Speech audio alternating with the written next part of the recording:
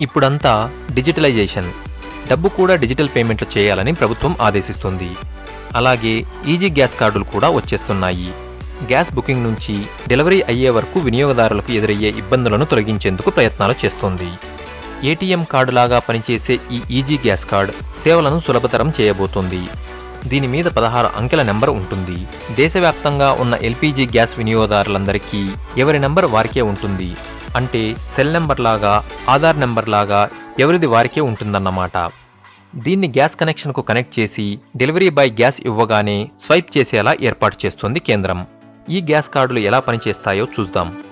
Gas కార్డుతో customer ఇంటి దగ్గర లేకున్నా పక్కింటి వాళ్ళకు కార్డు ఇచ్చి గ్యాస్ తీసుకోవచ్చు.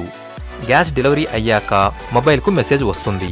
దీంతో సబ్సిడీ కూడా పక్కదారి పట్టకుండా ఉంటుందని భావిస్తుంది కేంద్రం.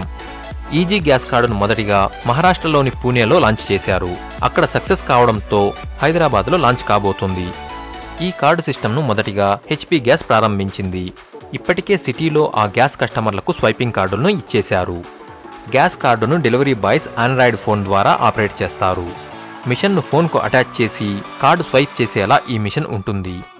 డెబిట్ కార్డు క్రెడిట్ కార్డుల ద్వారా కూడా బిల్ పే చేసే ఏర్పాట్లు కూడా చేస్తున్నారు. టెక్నాలజీ డెవలప్మెంట్తో కస్టమర్లకు ఇబ్బందులు లేకుండా చేస్తుంది ప్రభుత్వం.